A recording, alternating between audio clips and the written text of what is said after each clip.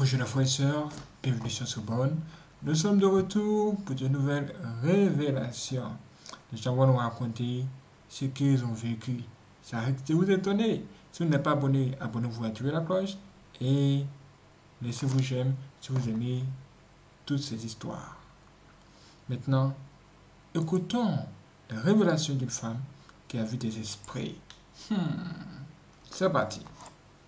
Bon, l'histoire que je vais raconter, c'est euh, deux esprits qui s'incrustent dans une maison.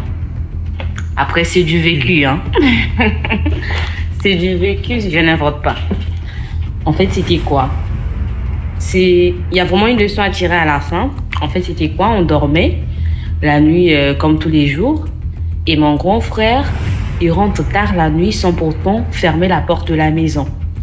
Il a oublié de fermer la porte, donc la porte est restée ouverte. Et on dormait au bout d'un moment. Moi, je me lève. Après, euh, on, peut, on peut dire c'est quoi? C'est comme des dons, hein? des dons spirituels comme tout le monde. Et moi, j'ai euh, des dons de vision, des dons, euh, bref. Donc, du coup, je me lève comme ça et tout. et en plus, Ça fait, moi, franchement, ça m'avait fait au moins une semaine, j'arrivais pas à dormir. J'ai des dons, je vois des esprits et tout ça là, mais ça me fait toujours peur. Moi, ça m'effraie toujours. Pourtant, j'ai vois, mais j'ai jamais cessé de m'effrayer. Ça n'a jamais cessé de m'effrayer en fait. Donc, j'ai toujours eu peur. Et du coup, quand je me lève et tout, je vois, euh, c'était l'esprit d'une femme avec euh, un enfant. Tu vois, avec un enfant, c'était une fille. Et euh, je rentre, euh, comme on dit, en transe, si on peut dire ça, parce que euh, quand tu vois des esprits, c'est pas avec des, des, yeux naturels. En fait, c'est comme si euh, il y a le Saint-Esprit qui te saisit et tu vois ce qui est au-delà du naturel. Donc, j'ai vu la dame, j'ai vu la femme, j'ai commencé, j'ai demandé à la femme de sortir. Elle voulait pas sortir. Pourquoi? Parce que sa fille elle s'était cachée. Il y avait une table, une, une, table dans ma chambre qui avait deux étagères. Il y avait deux étagères. Et, la, et sa fille était en dessous de, du deuxième étagère qui est en bas. Je ne sais pas comment il avait fait pour rentrer là-dessous, parce que c'est vraiment petit pour que quelqu'un puisse entrer là, tout en bas là. Et euh, elle, elle voulait pas sortir parce qu'il y avait sa fille qui était dedans. Et j'ai pris juste un truc blanc un truc blanc, c'est comme si euh, il y avait de la fumée dans la maison en fait. C'est comme si j'étais en train de vouloir faire sortir de la fumée dans la maison, mais avec le truc blanc. Et c'est comme ça qu'il fallait que je fasse pour que je puisse la faire sortir de la maison et tout. Et la femme, elle est sortie, mais par contre, la fille, elle était encore au-dessous de la table qui était dans ma chambre. Je suis rentrée dans ma chambre. J'ai essayé de faire sortir la fille. Elle voulait pas sortir de la table. J'ai tiré et tout. Jusqu'à ce qu'elle est sortie, j'ai fait sortir la femme aussi. Et puis, je lui ai demandé, mais qu'est-ce que vous êtes venu faire chez nous? Et la dame a dit, non, on n'est pas venu pour vous faire du mal. C'est juste que euh, on était en train de se balader, moi et ma fille, et on a vu la porte était ouverte. Donc on est rentré. Mais c'était pas dans le but de vous faire du mal. Et après, elles sont parties. Et là, ma mère, elle a pété les plombs. Elle a pété les plombs. Attends, attends, attends. Mais là, c'était le rêve ou bien c'était physiquement que tu, tu Non, c'était physiquement comme ça. Mais il n'y avait que moi qui les voyais. Ma famille ne le voyait pas. Mais moi, je les voyais. Eux, ils me voyaient comment j'étais en train de parler, comment j'étais en train de secouer de trucs. Mais eux, ils ne les voyaient pas. Mais il n'y avait que moi qui les voyais. En fait, j'étais pas endormie, c'était pas dans un sommeil.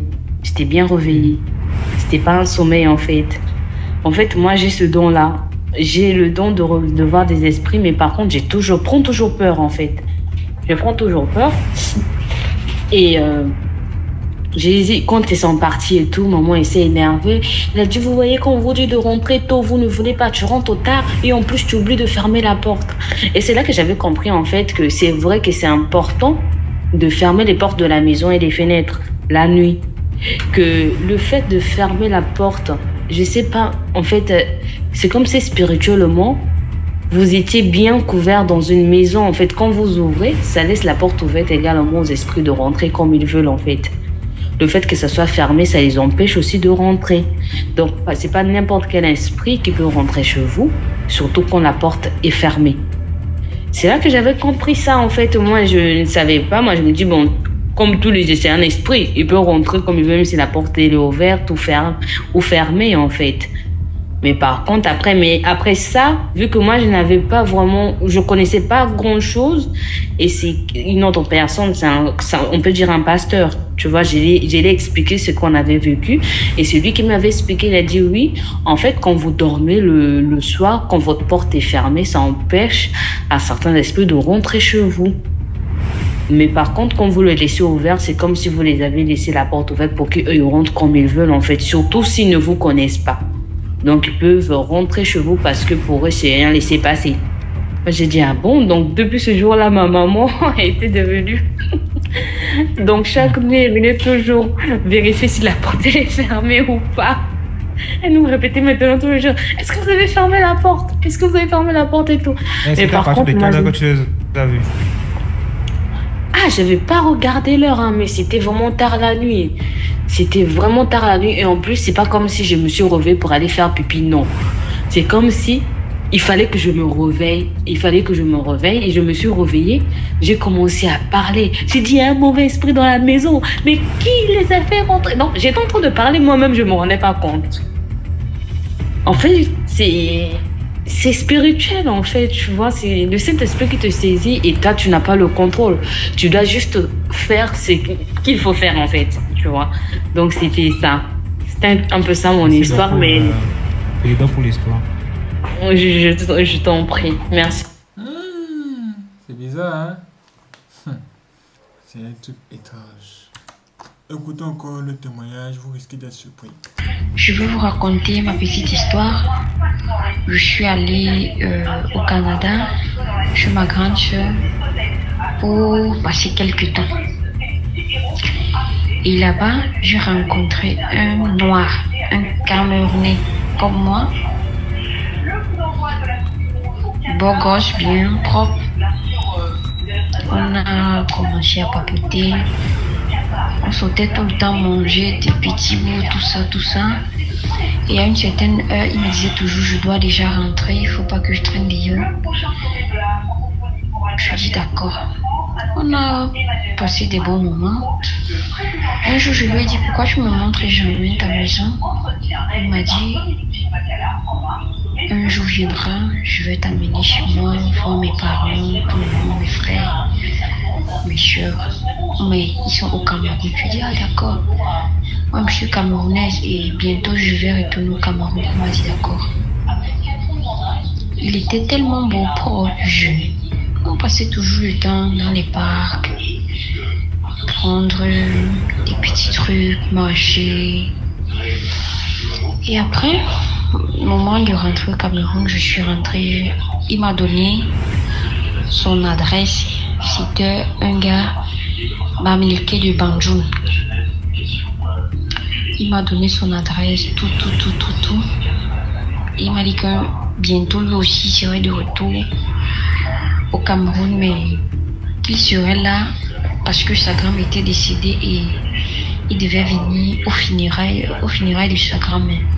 J'ai dit d'accord, je suis là. Et je me suis rappelé la date qu'il m'avait donnée pour les funérailles. J'ai dit à ma mère que je dois voyager. On causait toujours de temps en temps. Il avait mon numéro de téléphone, j'avais son numéro de téléphone.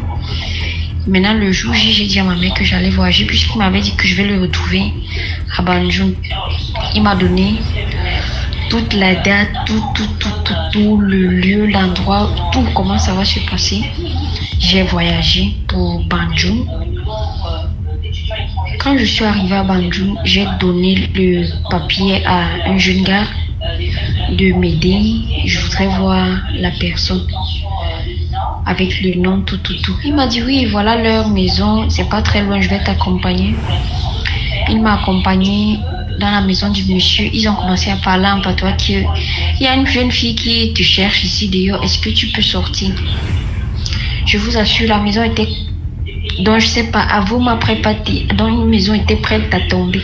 Donc, pour entrer, il fallait que tu te baisses pour entrer dans la maison. Et à côté, on faisait une, je sais pas si c'était les funérailles ou c'était les deux. Le jeune gars, je lui demande que, mais la personne que je cherche est là ou pas? Il me dit que non. Il est là dedans. Il dit qu'il ne sait pas qui tu es. Il ne sait pas de quoi tu parles. Je dis, mais comment ça? Lui, m'en a causé tout le temps. Même hier, lui, m'en a causé. Comment est-ce qu'il peut dire qu'il ne sait pas qui je suis Pourtant, j'ai pris le risque de voyager, me retrouver ici à Banjul parce que on se voit depuis. On a eu à faire une petite sortie, une petite aventure au Canada. Et puis, bon, c'était un peu comme ça. Bon, j'ai essayé de l'expliquer. Il dit au monsieur, le monsieur demande au gars de me faire entrer. Je vous assure, pour entrer dans la maison, il faut te courber et entrer.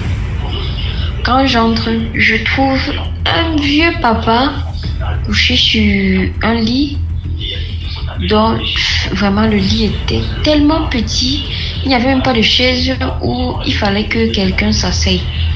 Je dis waouh. Je demande au gars que, mais il ne parle pas français. Le gars me dit non, il parle juste un patois. Je demande donc, mais, et le gars qui m'a donné le papier, comment est-ce que je dois marcher, il est où? Il me dit, ben, le nom, tout ce que tu m'as donné, c'est le monsieur là, ici. Je lui dis, pardon. Le papa, il me dit oui. Et ce les funérailles de sa femme qu'on est en train de faire dire. Je lui dis pardon, il me dit oui. Je lui dis non. Lui et moi, on s'est vu. Il me dit, oh, je l'explique tout. Les gens m'ont vu comme une folle. On a demandé au monsieur de, papa là de sortir dehors, d'expliquer. Il a juste dit qu'il ne peut rien dire, qu'il n'a pas d'explication à donner à quelqu'un et qu'il ne pouvait pas donner son secret à quelqu'un. Il était tellement vieux que il tremblait même seulement étant couché sur le lit. Je vous assure, j'ai été dépassée quand je suis rentrée. Je n'ai pas su comment expliquer la situation à ma mère, ni à mon père. J'étais bouleversée, troublée, donc vraiment, ça m'a, ça m'a dépassée. C'est pourquoi je veux conseiller mes sœurs, faites attention. Partout où vous allez, qui vous croisez, faites tellement attention parce que le monde est mauvais. Le monde est devenu, devenu très, très, très mauvais. Faites attention, s'il vous plaît. Ah, le compte. Seigneur Jésus, t'es. Seigneur Jésus, oh. Hmm. Ce que nous allons écouter ici encore risque de vous apprendre beaucoup de choses sur la vie et les gens. Vraiment, écoutez très attentivement. Mon histoire, c'est l'histoire des servantes. Les servantes que les parents partent et ramènent du village là. C'est- mon histoire. Mon histoire commence comment? Moi, j'habitais avec ma mère, avec mes frères. C'est comme ça que la maman part au, au village pour un funérail. Et c'est là qu'elle ramène une fille chez nous à la maison. Maintenant, elle ramène la fille. La fille était très jeune. Elle avait peut-être 8 ans comme ça. Donc la mère la ramène. Après deux ans maintenant, la fille a grandi. C'est comme ça qu'à chaque fois qu'on servait la nourriture à la jeune fille, elle partait toujours manger dans la cuisine dans le noir. Moi j'ai appelé ma mère, j'ai dit, mais la fille, si elle est suspecte, pourquoi elle refuse de manger la nourriture au salon? Ma mère me dit, non, tu sais, au village, les lieux ne sont pas éclairés. C'est normal, elle n'est pas habituée au salon, comme le salon est bien meublé. J'ai dit, ok, il n'y a pas de souci. C'est comme ça qu'un jour, moi maintenant je, je dors, la nuit je fais un rêve. Dans le rêve, je vois maintenant comme si on avait un lionceau qui était arrivé chez nous. Et le lionceau, il avait grandi maintenant et pas fini. Le lionceau avait commencé à devenir un lion mature maintenant. Il avait commencé à nous menacer dans la maison. Donc le matin, quand moi je me réveille, j'appelle ma mère. Je dis, ah, voici le rêve que j'ai fait. Donc, comme nous, on est le nordiste de la Côte d'Ivoire, donc c'est comme ça que la matin dit, ok, il n'y a pas de problème, je vais aller voir un peu chez les charlatans pour voir qu'est-ce que le rêve veut dire. C'est comme ça quand la matin part, on, fait savoir la matin que, ah, il y a quelqu'un chez vous qui a grandi, qui s'apprête à vous faire du mal. Moi, je dis, mais ça, c'est quoi ça encore? C'est comme ça, la matin dit, ah, mais je suis avec mes enfants, avec la servante. Je ne sais pas qui est chez nous qui peut nous vouloir du mal. Donc moi, je dis la matin, bon, il faut laisser. Souvent, les charlatans ne disent pas la vérité. Peut-être c'est une histoire comme ça. C'est comme ça, trois mois plus tard, ma mère maintenant est couchée dans sa chambre parce que chez nous c'était un quatre pièces. Moi j'avais ma chambre, mes jeunes frères et, ils avaient les chambres et les filles dormaient avec la maman plus la servante. Donc très tard dans la nuit, aux environs de 4 heures, la maman s'est réveillée. Elle est partie aux toilettes et lorsqu'elle a fini, elle, est rentrée dans sa chambre se coucher. C'est comme ça, étant couchée, elle a vu, bon, au début, elle était couchée, mais elle ne dormait pas. Elle a vu maintenant la servante s'est levée, s'est dirigée dans le salon, comme si quelqu'un l'avait appelé. Elle s'est dirigée au salon, elle, elle est partie là-bas pendant trois minutes, elle a échangé avec des personnes. Après, elle est revenue se coucher. Mais la matin, elle ne dormait pas. La matin, a entendu des bruits, comme si elle échangeait avec, avec des gens au salon rapidement, et elle est venue se coucher. Donc le matin, maintenant, la matin s'est réveillée, elle lui a demandé, ma mère elle a demandé, mais qu'est-ce que tu faisais au salon? Elle m'a dit rien. Maman dit non, j'étais très, j'étais bien vu. Tu t'es réveillé aux environs de 4 h 3 h tu es parti au salon, tu, tu, causais avec quelqu'un là-bas. C'était qui? Elle dit non, rien. La matin, elle a mis un peu de pression. C'est là maintenant la fille a commencé à dévoiler maintenant tout. Cela nous a fait savoir que effectivement, chaque nuit, il y avait mon oncle paternel et sa sœur, ainsi que ma tante maternelle aussi, qui venait à la maison pour venir lui donner les consignes. Et elle, en quittant le village, elle était venue chez nous comme les représentants pour observer tout ce qui s'est passé dans la maison. Et chaque nuit, ces personnes-là revenaient pour qu'elle puisse les transmettre tout ce qui s'est passé ici. Moi, je dis quoi? C'est là ma mère a pris peur. En même temps, elle m'a appelé, elle m'a fait savoir que, ah, c'est que la fille, s'il vient et dit, voilà ce qui se passe. Moi, maintenant, je suis arrivé, j'ai appelé la fille. Je lui ai dit, mais qu'est-ce qu'il y a? Elle dit, non, il n'y a rien. C'est là ma mère m'a dit, bon, comme toi, tu es plus proche d'elle, il faut l'appeler, lui demander d'essayer de prendre tous les renseignements avec elle. Il n'y a pas de souci. Donc, il essaie de faire sortir tout le monde de la maison et je l'ai appelé, maintenant je lui ai fait assis. Je lui ai dit, mais qu'est-ce qui se passe? La maman me dit que non, tu vois des choses, c'est des illusions, c'est la vérité. C'est là la fille va commencer à m'expliquer maintenant son histoire, que non, au village où elle était, son père était un guérisseur là-bas. Donc, étant guérisseur, ils étaient 11 enfants au niveau de son père. Donc, ils ont mangé, les sorciers du village ont mangé 8 enfants. C'est ainsi que sa mère a, et son père a décidé de les initier à la, sorcellerie pour qu'ils puissent savoir qui fait du mal à les enfants. Moi, j'ai dit, donc tu es sorcière? Elle m'a dit, oui, effectivement, je suis sorcière, mais je n'ai pas le pouvoir de manger les gens, mais j'ai le pouvoir de voir les djinns, j'ai le pouvoir aussi de voir les, comment on dit dans le jargon ivoirien, les pygmées, et j'ai le pouvoir de voir les sorciers. Et que dans chaque nuit, lorsque vous dormez, ton oncle paternel, ton oncle et ton oncle paternel, ta tante maternelle et ta tante paternelle viennent ici. J'ai dit, ah bon? Elle dit oui. C'est là la fille a commencé à me détailler tout ce qui se passe dans le quartier, même nos voisins qui étaient décédés, c'est les matins qui les avaient mangés. Elle a commencé à tout me détailler. Je dis, waouh, j'étais stupéfait. Tellement, tout le monde avait pris peur dans la maison. Il restait un peu, on allait fuir la maison pour la laisser elle seule dans la maison. C'est là maintenant la fille a commencé à m'initier, même a commencé à m'expliquer tout maintenant. Je dis waouh. Donc moi de côté, ce que je pouvais faire, je ne pouvais plus rien faire, tellement, tellement j'avais pris peur. C'est comme ça que j'ai pensé à la matinée d'envoyer la fille chez un guérisseur si on pouvait la débarrasser de la sorcellerie. Puisque la mère voulait qu'elle reste avec nous, comme c'était devenu comme nos soeurs après deux ans, on s'était habitué à elle. Donc c'est ainsi qu'on l'a pris, on l'a envoyé chez un guérisseur. Ma mère plus euh, une de mes cousines, ils, pris, ils sont arrivés chez le guérisseur. Arrivé là-bas, le guérisseur a pris peur. Le guérisseur devait savoir que la fille, depuis son très jeune âge, elle était déjà initiée à la sorcellerie. Que donc, c'est une fille normalement qui a des pouvoirs pour pouvoir guérir, pour devenir voyante. Mais comme ses pouvoirs ont duré si elle et ses pouvoirs n'ont pas été exploités, aujourd'hui la sorcellerie en elle, c'est ce, qui la panique. Donc la meilleure solution qu'on peut faire, c'est de prendre la, fille et de la ramener directement au village, le lieu où on l'a prise. Donc, c'est ce quand ils sont revenus, ma, mère m'a appelé, elle s'est fait savoir toute cette histoire. Donc, moi, j'ai dit, il n'y a pas de souci, là, ce qu'on va faire, c'est mieux qu'on la prenne et qu'on la ramène. Au lieu qu'elle reste à la maison, étant comme un détecteur de mouvement, et qu'elle sache tout ce qui se passe chez nous. Lorsque mes oncles paternels reviennent en sorcellerie, elle les explique tout, tous nos projets, toutes nos choses, tout. Je vous jure, pendant la présence de cette fille, c'était difficile. les examens. Mes frères n'obtenaient pas les examens. Même ma mère qui faisait son commerce avant, elle gagnait beaucoup d'argent. Pendant la présence de cette fille, à chaque fois, il y avait des problèmes. Soit c'est le camion qui est gâté, soit il y a toujours un problème qui intervient dans la famille. Donc, du coup, moi, j'ai dit à la mère, ah, la meilleure solution, c'est de ramener la fille au village. Là, ma mère a dit, il n'y a pas de problème. Chaque nuit, chaque nuit, lorsque nous dormions, à partir de 22h, là, je vois la fille, elle commence à défaire ses cheveux. Je lui dis, mais pourquoi tu défais tes cheveux aujourd'hui nuit? Elle me dit, ah, dans le quartier, aujourd'hui, il y aura une grande danse.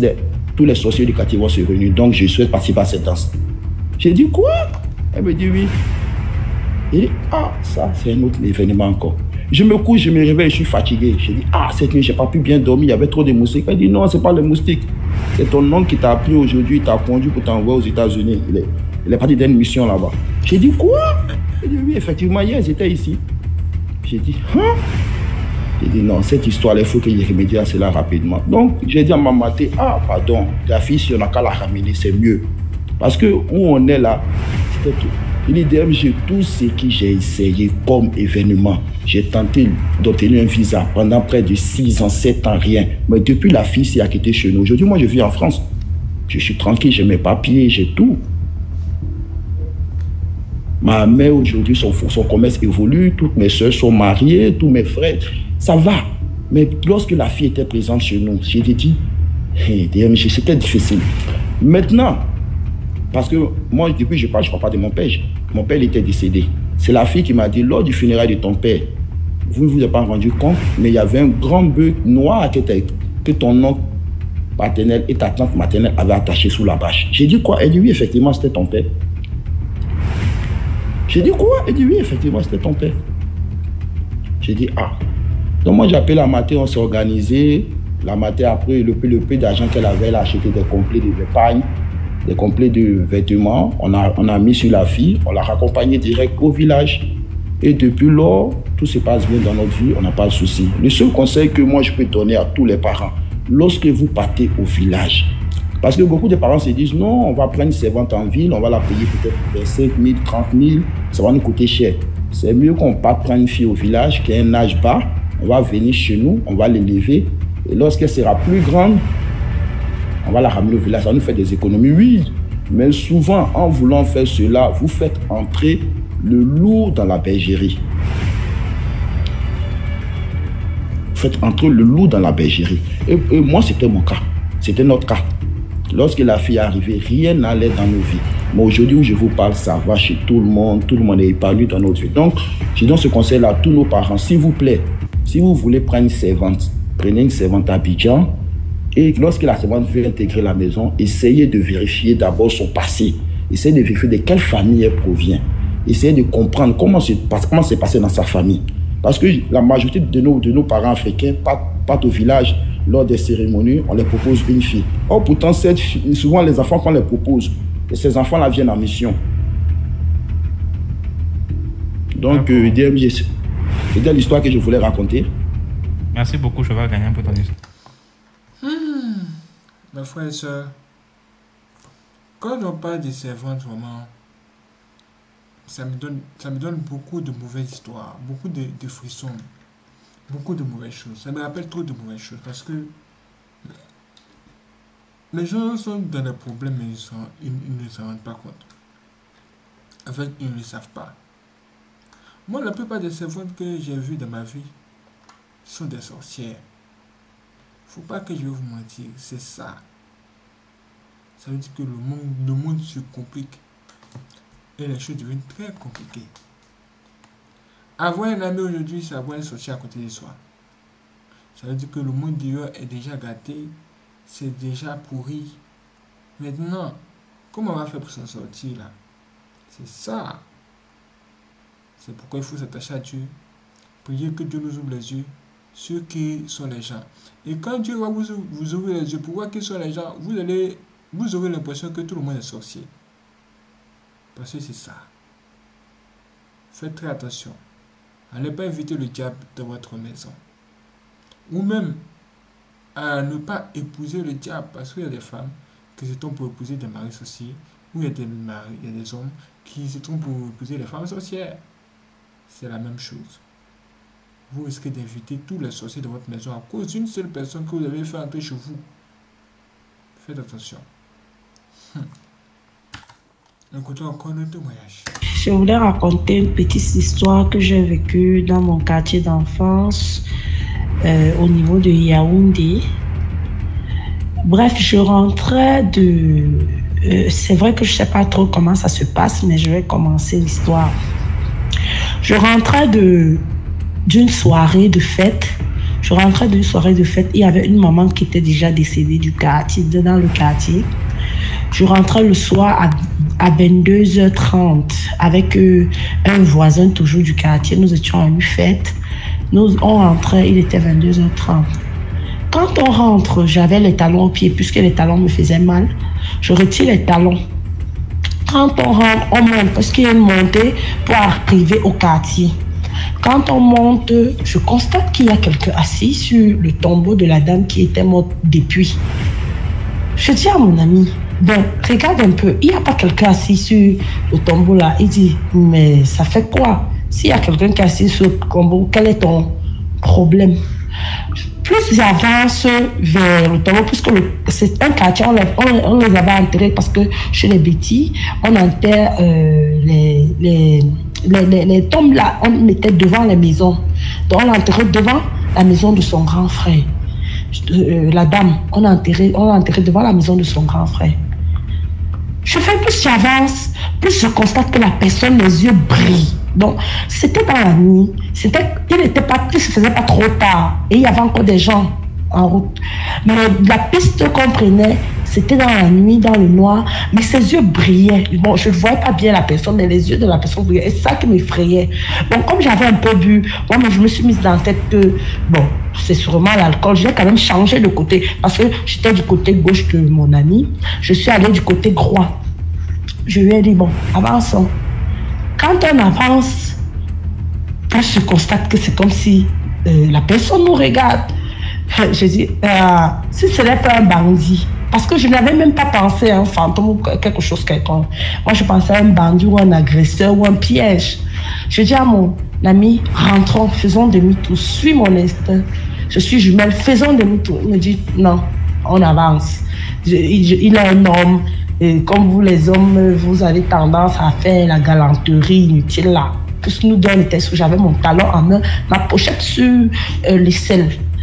Je l'arrêtais de l'autre côté, puisque j'étais là de son côté gauche, j'ai envoyé le bras, je l'arrêtais, je serrais très fort. Mon frère, plus on avance, on avance, on avance, pam. La personne se met debout sur, le, euh, euh, euh, sur sa tombe. Je constate que c'est la dame qui était décédée. Que moi, j'étais même au même moi, il était au deuil. On était tous au deuil. Elle me fixe, je lui dis, papa, c'est maman, c'est la dame, parce que je ne veux pas citer le nom, c'est la dame qui est morte là. Je l'ai directement uriné sur moi. Je, vous assure, j'ai dessoulé. Je pensais que je criais tellement fort, mais il dit que je criais, la voix ne sortait pas. Mais je ne bougeais pas. Ah, lui, il a fui. Comme je vous dis, il a fui sans, sans connaître où j'étais. Moi, je suis restée sidérée. Je me disais que je criais. Là, elle était là debout. C'est, euh, comme on l'entrait devant la maison de son grand frère, qui était aussi décédé, mais qui avait les enfants.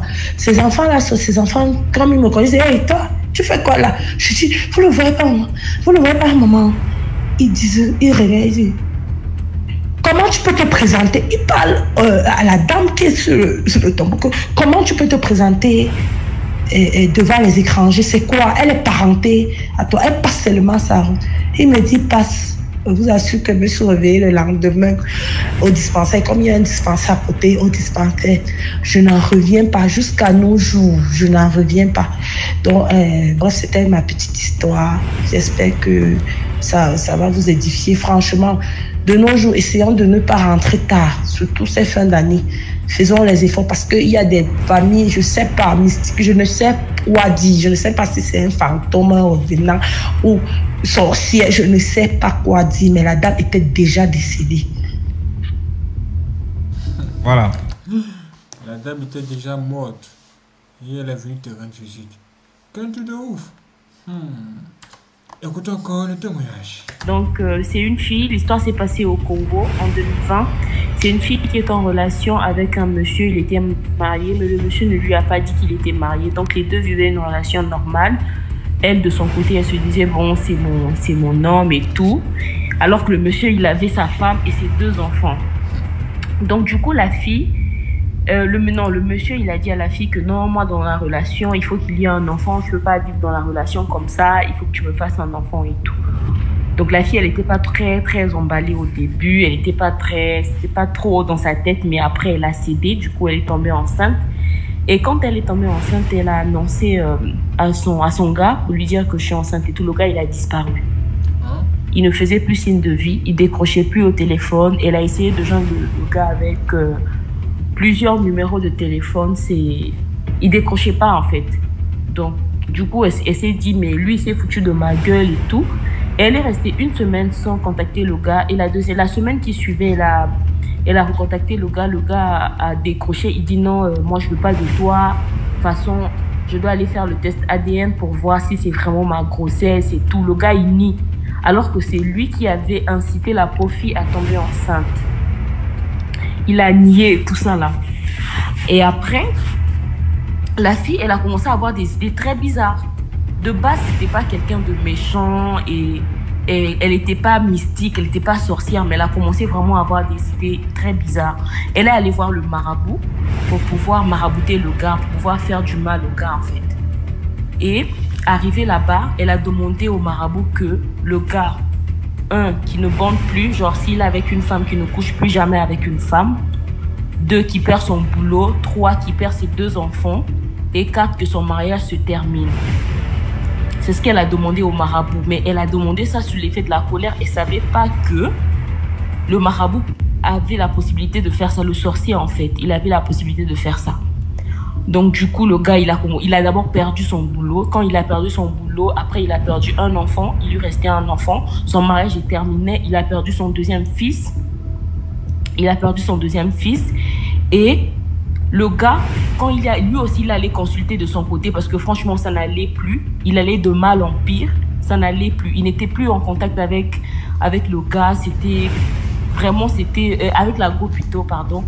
C'était, c'était mort de son côté, en fait. Elle a, il, a, il allait consulter le, les, les, les, les et tout ça, comme on dit chez nous au Congo. Et arrivé là-bas, on lui a dit c'est une fille qui lui a fait ça que c'est une fille, que c'est pas, euh, c'est pas normal. La fille, elle est enceinte et tout. Donc, il faut qu'il aille chez la fille demander pardon. Et ensuite, euh, peut-être que ça va, la situation va s'améliorer. Entre-temps, la fille qui est allée chez le marabout là, des fétiches, elle a commencé à sortir avec le marabout. Donc c'était devenu très compliqué. Elle obtenait tout ce qu'elle voulait, donc tout ce qu'elle demandait et tout ça là, elle obtenait ça. Donc elle était devenue très spirituelle. Elle était, elle était vraiment dans un monde bizarre. Elle était devenue très mystique. Donc du coup, il est allé chez la fille, il a dit à la fille, je suis, je suis désolée pour ce que je t'ai fait. La fille a dit, c'est trop tard parce que franchement, moi, j'étais dans mon coin et tout. Tu, déjà, tu m'avais menti que tu étais mariée. Hormis ça, j'ai accepté, on a continué la relation. Et toi, tu te comportes bizarrement. Ça, c'est quelque chose que j'ai pas apprécié. Donc, euh, peu importe que tu me demandes pardon aujourd'hui ou demain, ça va pas changer la situation et tout. Le gars a dit, ah, ok, d'accord. Si tu veux jouer à ça, donc on va jouer à ça. Le gars aussi, de son côté, il cherche à aller voir le, le, marabout pour pouvoir détruire aussi la fille. Donc, c'est devenu, c'est devenu la guerre entre eux, en fait. Œil pour œil, dent pour dent. C'est devenu la guerre entre eux. Et lui, quand il part, on lui a dit que où la fille, elle est allée, c'est- elle est allée très loin en fait. C'est-à-dire qu'elle, c'est pas les petits marabouts et tout, donc ce sera très difficile de faire ça. Et elle, de son côté, avec son gars marabout, elle a su que le gars, il est allé voir un autre marabout. Elle a, elle a rendu le monsieur fou. Le monsieur, il est devenu fou. Donc tout ça là, ça s'enchaînait. En moins de deux mois, il a, il a perdu son mariage, il a perdu ses deux enfants, il est devenu fou. Et après, euh, quelques temps après, quelques semaines après, le monsieur, il est décédé en fait. Donc c'est triste, c'est une histoire vraiment triste. Les gens dans les commentaires, c'est une histoire. La guerre en Attends, Ukraine. d'ab- tu dis d'abord qu'elle est partie sortir avec le marabout. Toi, tu dis qu'elle pense comment Elle va commencer à descendre dans les commentaires. Non, mais après, c'est c'est- voilà, c'est vraiment pour attirer l'attention de, de certaines personnes. Aujourd'hui, je sais pas, en fait, moi, je me dis peut-être que la fille, elle était déjà bizarre. De base, elle avait un fond noir parce que aller voir le marabout détruire la personne jusqu'à à tuer la personne, ça veut dire que peut-être que dans sa tête, voilà, tuer les enfants et tout ça là, c'est- ça veut dire qu'elle elle- elle pensait ça depuis, parce qu'on peut pas se réveiller un matin comme ça et devenir mystique tout simplement parce que le gars il t'a laissé. C'est vrai que ce que le gars a fait c'était pas bien, mais la fille, je sais pas ce qu'elle est devenue et tout, mais bon, je suis parce qu'elle avait gardé la grossesse du gars, hein. il avait, il- elle avait gardé la Mais grossesse. du le, gars. le, le- le gars aussi a poussé la fille à bout, donc c'est pas aussi. Tu sais, tu peux être une bonne personne, mais il y a, il y, a, il y, a des- il y a des limites. Hein. On peut te pousser à bout et puis tu, tu, tu te transformes complètement. Un peu comme tu vois quelqu'un qui est Oui. calme d'habitude, après un jour il s'énerve, il porte une télé, il casse. Dans toi qui es, toi qui es brut d'habitude, tu peux pas Mhm. faire ça. Donc c'est pas évident. C'est grave.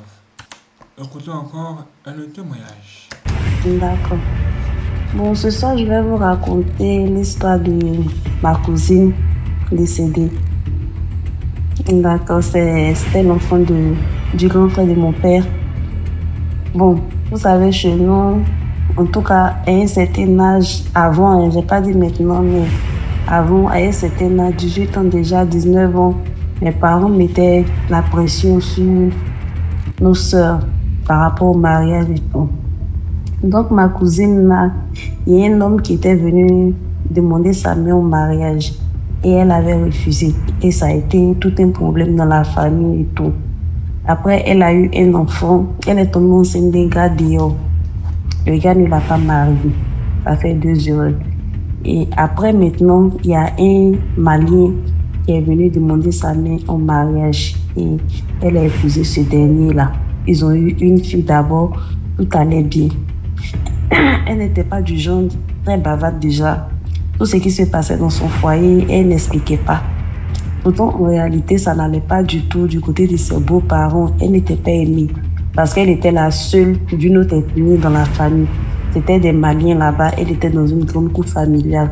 Ça n'allait pas, mais elle n'en parlait pas souvent. Donc, elle est tombée enceinte de sa deuxième grossesse alors. Les maladies ont commencé. Elle a commencé à ne pas se sentir bien. Ça n'allait pas du tout. Donc, elle est allée au village chez le grand frère de mon papa pour aller suivre des traitements chez des guérisseurs. Quand elle est partie, le grand frère de mon papa l'a envoyé chez un guérisseur. Et ce dernier-là lui a dit que il pouvait rien faire pour la soigner. Que si elle veut guérir là, elle doit quitter son foyer. Que son foyer là n'est pas bon, qu'il y a déjà trop de trucs mystiques dedans. Si elle veut se porter bien, il faut qu'elle quitte le foyer. Donc elle a dit carrément qu'elle ne peut pas quitter le foyer parce que son mari ne lui a rien fait. Que son mari est gentil avec elle, tout va bien entre elle et son mari. Donc elle ne peut pas laisser son foyer. Elle est restée dedans. Jusqu'à elle a accouché, c'était tout un problème. Ça n'allait pas. Quand elle a accouché, ça s'est empiré. On va à l'hôpital chaque deux mois. On ne voit rien, mais elle ne se sent pas bien. Ça n'allait pas du tout. Elle avait le nouveau-né. Personne ne l'aidait à s'occuper de son enfant. Pourtant, c'était une couple familiale. Du coup, son mari a demandé pardon à l'une de ses grandes sœurs pour qu'elle puisse aller rester là-bas. Donc, sa grande sœur l'a accepté. Elle est partie rester chez sa grande sœur. Sa grande sœur s'occupait d'elle un peu, un peu. Après, ça n'allait pas du tout, du tout, du tout. Le mari de sa grande sœur aussi dit non, elle n'a qu'à aller en famille. Donc, finalement, elle s'est retrouvée en famille. Malgré ça, nous-mêmes, on lui mettait la pression pour qu'elle accepte de quitter le gars pour qu'elle puisse se porter bien. Elle pouvait plus s'occuper de son enfant. Son état ne faisait que s'empirer. C'est qu'elle su, quand elle était en famille, son mari venait tout le temps. Chaque jour que Dieu fait, il continuait de faire le tour des guérisseurs pour chercher des remèdes pour elle. Mais ça n'allait pas. Jusqu'à finalement, elle est décédée. Quand son enfant avait cinq mois. Elle est décédée, elle est restée dedans. On s'est pour dire que vraiment, moi-même, je ne sais pas quelle leçon tirer de cette histoire. Souvent, il faut savoir faire un choix. Entre son foyer et sa vie, elle a préféré son foyer, selon la religion et tout et tout. Mais aujourd'hui, elle a laissé ses enfants orphelins, trois enfants. C'est pas petit. Donc, c'est une histoire mystique, bizarre qui vraiment nous a choqués tous. Le comme c'est que vraiment elle a souffert avant de mourir. Elle a souffert. On a dû faire même des sacrifices et des sacrifices pour que son âme puisse partir. Sinon, elle était là, elle souffrait. On savait qu'elle n'allait pas s'en sortir, mais elle continuait de souffrir seulement. Donc, Ouais. c'était un peu ça, l'histoire de ma cousine. Donc, souvent, mariage est intéressant, mais la vie vaut mieux, quoi. En tout cas, mes frères et ce que j'aimerais vraiment vous dire, c'est ceci. Ne soyez pas pressés, pressés pour faire les choses. Ne soyez pas pressés, pressés pour faire des trucs dans la vie. Trop pressé, pressé là, il tombe dans le problème après. Je vous assure. Prenez votre temps. Analysez les choses en profondeur. En rentrant maintenant dans le monde spirituel. Posez des vraies questions à Dieu. Pour que Dieu puisse vous donner les réponses. Et en fonction de ça, vous allez prendre votre décision finale. Se mettre avec quelqu'un, c'est bien. Mais si vous ne savez pas où va vous conduire votre union, ce n'est pas bon. Il y a des unions là, des mariages, dont le résultat c'est la mort. Soit l'un meurt ou les deux meurent parce qu'ils ne se sont pas bien entendus. La guerre naît et ça devient compliqué. C'est pourquoi il vous dit toutes ces choses. Moi, mes frères et sœurs, Soyez prudents. Très très prudents.